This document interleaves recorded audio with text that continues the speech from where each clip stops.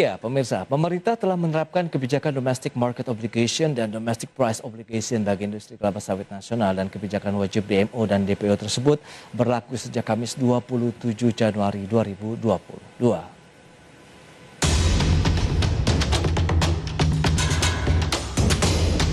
Kementerian Perdagangan akhirnya menerapkan kebijakan Domestic Market Obligation atau DMO dan Domestic Price Obligation atau DPO bagi industri kelapa sawit nasional. Belet yang mulai berlaku Kamis 27 Januari 2022 ini ditempuh setelah mempertimbangkan hasil evaluasi atas kebijakan minyak goreng kemasan satu harga yang telah berjalan belakangan ini serta guna memberikan jaminan stok bahan baku minyak goreng di dalam negeri dengan harga yang terjangkau masyarakat.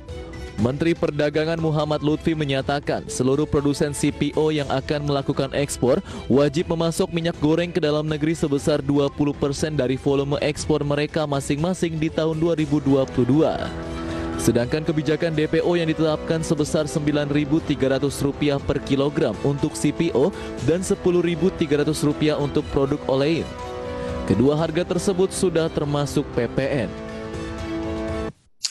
Mekanisme kebijakan domestic market obligation atau kewajiban pasokan ke dalam negeri berlaku wajib untuk seluruh produsen minyak goreng yang akan melakukan ekspor. Nantinya seluruh eksportir yang akan mengekspor wajib memasok minyak goreng ke dalam negeri sebesar 20% dari volume ekspor mereka masing-masing di tahun 2022. Seiring dengan penerapan kebijakan domestic market obligation dimaksud, kami juga akan menerapkan kebijakan domestic price obligations atau DPO yang kami tetapkan sebesar 9.300 per kilogram untuk CPO dan 10.300 per kilogram untuk olein. Sekedua harga tersebut sudah termasuk PPN di dalamnya. Sementara itu kebutuhan minyak goreng nasional tahun diperkirakan mencapai 5,7 juta kiloliter yang terdiri dari kebutuhan rumah tangga dan industri. Adapun kebutuhan minyak goreng rumah tangga sebesar 3,9 juta kiloliter yang terbagi menjadi 1,2 juta kiloliter kemasan premium, 231 ribu kiloliter kemasan sederhana, dan 2,4 juta kiloliter curah. Sedangkan untuk kebutuhan minyak goreng industri diperkirakan 1,8 juta kiloliter. Dari Jakarta, Tim Liputan IDX Channel.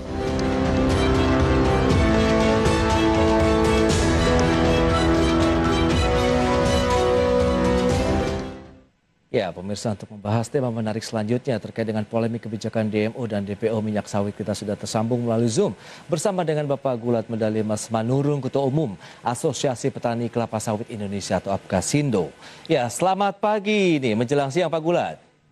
Selamat pagi menjelang siang. Ya, salam sehat Pak.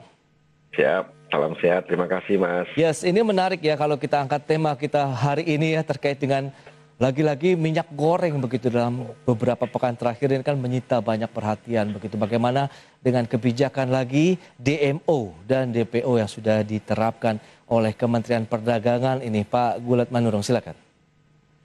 Baik, uh, sesungguhnya maksud pemerintah bagus hmm. ya, memastikan ketersediaan bahan baku untuk minyak goreng dengan DMO dan harga price DPO-nya adalah uh, 9.300. Ya. Nah, tetapi kan uh, pasar ya meresponnya negatif ya. Hmm. Nah ini yang menjadi tugas berat dari Kementerian Perdagangan. Pasar ini maksudnya uh, justru mengacau, justru kacau. Uh, ini yang perlu memang disampaikan kepada semua stakeholder sawit bahwa uh, harga uh, 9.300 itu adalah harga untuk untuk yang 20 persen. Betul. Bukan untuk harga keseluruhan. Nah, hmm. asumsi yang digunakan oleh pabrik-pabrik kelapa sawit, terkhusus kaitannya kepada kami petani sawit adalah mereka meng mengkalkulasinya itu 9.300 harga CPO flat.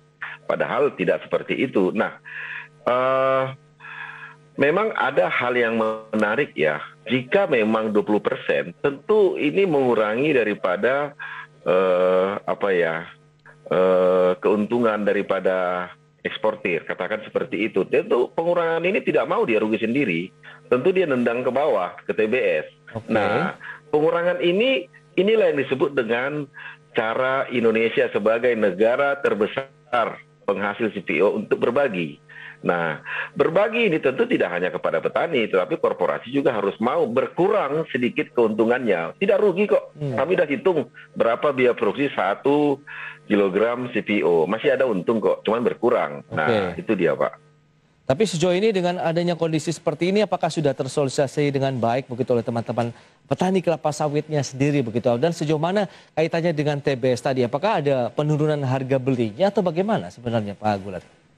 Wah, semenjak tanggal 27 nah kalau kalau sebentar saya mundur ke belakang Boleh? jadi sebenarnya sebelumnya sudah bagus hmm. uh, minyak goreng itu disubsidi oleh BPDPKS yang terakhir itu 7,6 triliun. Itu cukup bagus. Okay. nah, nah sebelumnya 3,6 yang disubsidi hanya minyak goreng kelas menengah ke bawah kemasan sedang dan minyak curah. Tapi pemerintah mengambil kebijakan bahwa minyak goreng semuanya disubsidi. Maka naik menjadi 7,6 triliun. Dana dari BPD PKS itu bukan dana APBN itu adalah sumbangan gotong royong dari semua stakeholder sawit. Yeah.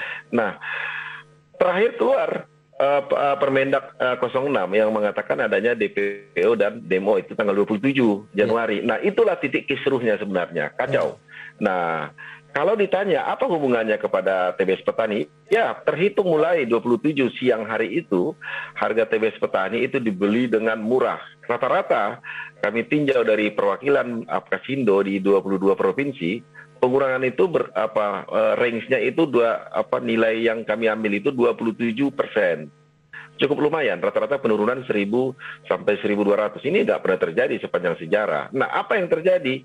Kenapa pemerintah berniat baik justru direspon? Nah, ini yang saya sebut. Yeah. Sosialisasinya tidak sampai gitu loh. Tanggal okay. 27 itu awalnya. Jadi rata-rata berkurang 27 persen dari 3.500. Dari 3.500 turun sekitar 1.000 sampai dengan 1.200 begitu ya Pak Gulat? Betul. Tapi kan sudah ada klarifikasi juga ini dari Mendak begitu terkait bahwa memang harga yang ditetapkan DPO tadi 9.300 memang untuk yang kewajiban DMO 20% bukan dari harga pembeliannya begitu. Apakah ini juga akhirnya sudah bisa mereda begitu dalam artian pembelian sudah bisa kembali normal? Iya, tidak serta merta. Untung Pak Menteri Perdagangan pada tanggal 30 eh, apa Januari, namanya, Januari hmm. mengajak rapat mendadak semua stakeholder sawit okay. dan organisasi sawit pada malam hari itu sosialisasi. Termasuk nah, Apkasindo juga. Oh iya, okay. Apkasindo saat dari situ Gapki dan beberapa perusahaan lain dan Kementan. Baik. Di situ dijelaskan dan kami pada malam hari itu sudah berkomitmen hmm. kepada negara bahwa kita harus menjaga harga TBS dan kita harus komit dengan 20% demo 9.300 untuk uh, DPO-nya. Sepakat. Nah, oleh karena itu kesepakatan ini yang dipegang oleh semua pertemuan pada malam hari itu. Pak Menteri sudah jelas mengatakan, laksanakan dulu berapa yang kamu punya, serahkan 20 persen. Oke. Okay. Nah, tidak harus langsung kita mengeluh kan gitu kata Pak Menteri. Nah, hmm. besoknya kami diundang oleh Menteri Perdagangan pada malam hari itu dikatakan saya meminta dengan tegas kepada Pak uh, Menteri dan Pak Dirjen Wisnu supaya titik krusialnya itu Senin, hari Senin tanggal 31. Itu okay. adalah tender dari kepada KPBN supaya dijaga, dikawal, dipelototin, jangan ada sampai ada spekulan yang menawar rendah seperti yang sebelumnya hmm. sampai terjadi no deal atau WD. Nah, ini yang terjadi. Makanya kami ke Jakarta, kami tongkrongin seharian di Kemendak. Alhamdulillah KPBN sudah menjadi pahlawan mempertahankan harga yang normal okay. yaitu 15.000 ribu uh, harga CPO diputuskan pada saat itu meskipun ada yang menawar sampai 11.000 tapi penting dikatakan bahwa itulah titik krusialnya. Apa hubungannya? Hmm. Apa hubungannya tender KPBN 15.000 dengan harga TBS? Yeah. Apa hubungannya tender KPB dengan demo dan DPO? Hubungannya adalah jika karena semua patokan penetapan harga CPO yang dibeli oleh perusahaan eksportir ke pabrik-pabrik kelapa sawit adalah hasil tender Betul, PBN. Semua pabrik-pabrik kelapa sawit dari Sabang sampai Merauke, patokan mereka membeli TBS petani adalah tender KPBN. Oleh hmm. karena itu, kami menegaskan kalau ada yang curang, itu KPPU bisa bertindak. Kalau ada yang curang, kami minta kepada Menteri Pertanian cabut itu izin dari pabriknya karena okay. tidak patuh terhadap Betul. Permentan 01 2018 gitu. Dan itu sebenarnya sudah ditegaskan juga oleh Mendak begitu dalam artian harus ada uh, satu langkah tegas apabila ada yang melanggar kebijakan DMO dan DPO. Tapi baik pemirsa kita lanjutkan kembali perbincangan bersama dengan Bapak Gulat Mendari Manurung. Beliau adalah Ketua Umum Asosiasi Petani Kelapa Sawit Indonesia Apkasindo. Baik, Pak Gulat kita akan lanjutkan kembali. Perbincangan ini menarik dengan kondisi saat ini. Nampaknya langsung terasa uh, dengan adanya kebijakan DMO dan juga DPO yang dirasakan oleh petani kelapa sawit. Meskipun hal itu sudah ada klarifikasi dan sudah dilakukan upaya bahwa penegasan itu bukan untuk DMO yang di luar itu ya. Dalam artian memang ini wajib DMO saja harga 9.300 yang sudah ditetapkan. Tapi kalau kita lihat dari sisi volumenya Pak, ada pengaruh juga. Kalau harga tadi Anda katakan dari 1.000 turun sampai dengan 1.200. Nah, untuk volume pembeliannya juga akan ikut terpengaruh kah sebelumnya atau bagaimana? Nah, ini dia yang menjadi ini kan sistem hmm. rantai ya. Yeah. Artinya kalau disebut hulu, tengah dan hilir, jika uh, hilirnya terganggu, tentu berpengaruh kepada hulu. Nah, persoalan sekarang, pertanyaannya tadi, apakah ada menurun volume pembelian TBS petani oleh pabrik? Sampai dengan sekarang tidak. Okay. Tetapi jika hmm. pemerintah dan korporasi tidak menemukan satu titik tentang penyediaan demo dan DPO dengan harga DPO tersebut, maka pemerintah dalam hal ini Kemendak kan tidak memberikan izin ekspor kepada eksportir CPO dan produk turunannya. Lah kalau ini terjadi sampai berkepanjangan, kan penuh itu tangki daripada pabrik-pabrik. Kalau penuh tangki penampungan penimbunan CPO dari hasil pengolahan PKS, tentu akibatnya kapasitas pabrik akan menurun. Akibatnya pembelian TBS petani juga berkurang. Akibatnya apa? Harga jatuh lagi. Nah, oleh karena itu kami melihat ini tidak lepas dari hulu dan hilir. Nah, kami menghimbau meminta kepada uh, perusahaan-perusahaan eksportir maupun perusahaan-perusahaan kelapa sawit yang ada, ayolah kita teruti dulu himbauan pemerintah dengan DMO dan DPO. Saya yakin dan itu sudah terpantau waktu rapat terbatas dengan Kementerian Perdagangan okay. akan tetap dievaluasi. Lah, kalau tidak ada ekspor, itu akan berdampak sistemik ke mana-mana. Kalau masalah minyak goreng yang tadi harga masih tinggi dan langka, ini sebenarnya kecil sekali menyelesaikan persoalnya. Per tanggal 1 subsidi dari BPDPK sudah tidak berlaku lagi. Sementara tanggal 1 yang berhari bersamaan itu yang namanya DMO dan DPO sudah berlaku. Pertanyaannya, sudah adakah juknis daripada Kementerian Perdagangan tentang distribusi daripada 20% tadi kepada pabrik-pabrik pengolahan minyak goreng? Nah, ini yang harus dipertegas lagi. Caranya bagaimana supaya semuanya bisa terbuka, tidak ada kecurangan lagi gitu. Hmm, itu dia. Tapi kalau kita lihat dari sisi sejauh ini begitu ya, Kasindo menilai bagaimana? Apakah juga upaya pengawalan yang dilakukan oleh pemerintah ini juga sudah sesuai harapan? Ya, pengawalannya saya pikir tentu kalau sudah sesuai tidak seperti ini, Mas. Ya, hmm. pasti sudah jauh lebih baik. Tapi faktanya kita lihat di media dan saya monitor barusan di 22 provinsi. Okay. Kami semalam itu kan rapat pengurus Apkasindo dari Sabang sampai Merauke 22 provinsi. Saya monitor harga TV sudah membaik, kami akuin. Hmm. Bagus.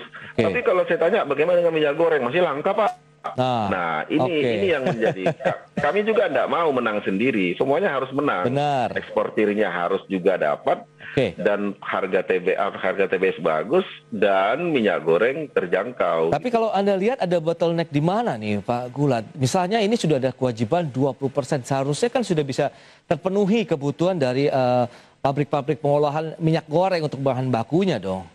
Tapi kenapa iya. Anda katakan tadi hasil pantauan Apkasindo sendiri menyebutkan di sejumlah daerah masih langka?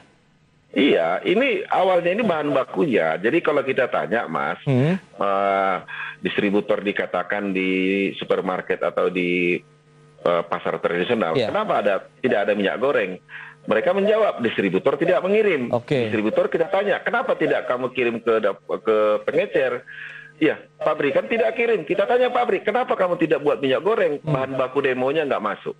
Wow. Kenapa demo bahan baku tidak masuk? Kita tanya ke eksportir, belum ada petunjuk teknis yang lebih detail. Nah, itu hmm. itu itu dia. Jadi sistem, Mas. Oke. Okay. Saya tanya lagi kepada ketika pertemuan di uh, kantor Kemendak iya, semalam, yeah, yeah, yeah. itu Pak Pak Wisnu jelas kok mengatakan berikan dulu minyak apa CPO-mu kepada pabrik supaya mereka bekerja. Laporkan berapa yang kamu berikan, maka ah. ekspor akan saya keluarkan hari ini juga. Oke. Okay. Nah, ini ini yang iya, jadi. Iya. Jadi saling nunggu ini nampaknya begitu ya? Saling menunggu. Oke. Okay. Kalau saya mengatakan saling menunggu. Hmm, tapi kan tidak boleh begitu seharusnya kalau memang ini sudah ada arahan dari pemerintah dalam artian Kementerian Perdagangan yang akan juga mengeluarkan surat izin ekspornya begitu daripada nanti tidak ekspor kan mereka juga hanya 20% saja kewajiban yang harus diserahkan kepada uh, pabrik-pabrik pengolahan uh, CPO tadi untuk minyak goreng, Pak Gulat. Atau Anda melihat ada hal lain?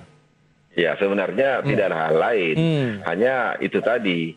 Uh, ya, kalau ya. kalau saya melihat industri CVO ini atau ekspor ini tidak mau berkurang untungnya, janganlah begitu kan. Hmm, okay. Kalau rugi tidak lah, nggak rugi tidak lah, kurangi untungnya dan Kemendak juga hmm. harus menjadi penengah bagaimana ekspor mereka lancar. Nah, tetapi ada satu hal ya Mas ya, yeah. yang saya sampaikan.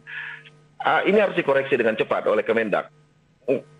Ngapain kita harus mensubsidi minyak goreng secara keseluruhan? Hmm karena ini akibatnya kepada DMO 20%. Kan tadi dikatakan di berita yang baru disiarkan bahwa minyak goreng curah, minyak goreng kelas menengah, kemasan sedang itu, yeah. kemasan sederhana dan minyak goreng uh, premium atau uh, yang kemasan mewah yep. untuk ya orang-orang kaya ya. Oke. Okay. Semuanya itu menggunakan minyak DMO. Yang sama bahannya begitu. Iya, hmm. usah orang kaya itu disuruh beli minyak yang curang nggak akan mau. Hmm. Dia pasti beli yang high quality. Oleh karena itu, supaya beban 20% tidak begitu berat ditanggung oleh uh, stakeholder sawit, termasuk kami petani ikut menanggung, -hmm. ya dikurangi. Kami sudah berhitung kemarin berapa sih idealnya kalau yang kelas minyak goreng premium tidak ikut ditanggung, okay. sekitar 12,7 persen kok. Nah, ibaratnya begini, kalau orang bensin punya ada namanya minyak subsidi disebut dengan pertalite apa nama premium pertalite dan pertamax. Oke. Okay. Saya pikir kalau saya punya mobil Mercy tidak akan pernah mengisi mobil dengan pertalite, tapi saya akan pertamax turbo. Pertanyaannya, ada yang proteskah dengan harga berbeda bensin? Enggak ada tuh. Hmm. Semuanya punya konsumen tersendiri. Makanya kami menyarankan minyak yang 20% itu hanya digunakan untuk yang kemasan minyak sederhana dan minyak curah yang premium lepas saja ke pasar supaya beban itu tidak tertumpuk kepada okay. namanya stakeholder sawit gitu. Baik, tapi nantinya kalau misalnya harganya tidak ditetapkan kemudian ini berdasarkan pergerakan dari kebutuhan market misalnya begitu akhirnya konsumen memilih ke yang kelas yang menengah tadi dong atau sederhana dan juga curah kalau misalnya harganya juga tidak sesuai dengan harapan mereka begitu yang Anda katakan tidak perlu ada subsidi misalnya. Ya, tidak pada hmm. perlu ada subsidi itu untuk yang kelas uh, premium, Mas. Iya. Jadi uh, jadi pertanyaannya apakah akan menggunakan orang kaya akan menggunakan minyak yang murah? Saya hmm. pikir itu tetap ada, tapi ya tidak besar lah, di bawah 10%. Tetapi kita harus buat juga kemasannya yang norak. Kalau saya pakai mobil mewah, saya tidak akan pernah beli mobil apa namanya minyak yang begituan, minyak yang kemasan sederhana. Buat aja warnanya warna kuning norak jadi oh. kalau ibu-ibu ataupun membeli yang unik begitu ya Pak ya? Iya, buat mereknya minyak goreng gotong royong hmm. untuk masyarakat menengah ke bawah. Ah, itu hmm. sederhana kok, nggak susah. Oke. Okay. Kita harus mempermudah persoalan gitu loh. Jika Baik. memang mau cepat gitu. Oke, itu dia mungkin bisa dicarikan solusinya nanti kalau memang ada uh, pertemuan lagi bisa Anda sampaikan begitu ke Kementerian sudah, Perdagangan. Sudah saya sampaikan ke uh. Pak Menteri dan ke Pak Dirjen. Oke. Okay. Tapi Pak Dirjen tetap menginginkan hmm. kerjakan dulu yang ini sambil kita evaluasi. Betul. Ya. Ini yang... sudah tanggal 2 loh, Mas. Hmm. Kita tanya semua minyak goreng masih ya belum belum sempurna lah gitu. Oke. Okay. Nah, Jadi, Kondisi ya. seperti ini kira-kira bagaimana Anda menyikapi di tahun 2022 ini supaya harga minyak goreng yang dirasakan oleh masyarakat begitu juga bisa turun sebenarnya. Jadi kan semuanya harus uh, peduli begitu Pak Gulat. Ya. Jadi begini uh, Mas, kalau bolah boleh saya katakan menggunakan istilah sederhana -hmm. ya, sederhana. Jangan mengobati penyakit yang satu muncul penyakit yang yang baru gitu yeah. loh minyak goreng tersedia, harga hancur. Nah kalau kalau begitu apa solusinya? Sederhana Pak. Hmm. Itu kan ada namanya pungutan ekspor yang dikelola oleh BPDPKS. Okay. Itu kan jumlahnya kan cukup lumayan. Kenapa nggak itu dulu digunakan untuk sebagai uh, apa ya penyelesaikan masalah harga minyak goreng yang tidak terkontrol dulu? Nah, operasi yang, pasar misalnya dari hasil ya, dana tersebut. Jangan, jangan operasi hmm. pasar. Jadi uh, head tertinggi 14.000, hmm. selisih head dengan harga harga pasaran uh, bebas itu yang disubsidi oleh dana BPDPKS. Oke. Okay. Dana BPDPKS itu kan bukan APBN, bukan APBD. Kalaulah hmm. ada kemarin saya dengar selentingan bahwa itu tidak ada payung hukumnya, saya pikir ya tinggal membuat peraturan kalau memang demikian. Hmm. Kalau dibilang akan habis, toh itu juga dana dana sawit kok bukan dana APBD, bukan APBN yang dikumpulkan oleh stakeholder sawit. Betul. Kalau kurang kalau untuk alasan pemerintah kemarin supaya eksportir CPO jangan jor-joran mengekspor, minyak goreng jangan jor-joran mengekspor, naikkan pungutan ekspor, naikkan pajaknya. Hmm. Pungutan ekspor dan uh, bea keluar, PE dan BK bea keluar itu akan menjadi keran okay. bagi eksportir. Kenapa? Daripada dia ekspor dengan pajak mahal lebih bagus diolah di dalam negeri. Hmm. Nah, ini ini yang saya sebut tadi.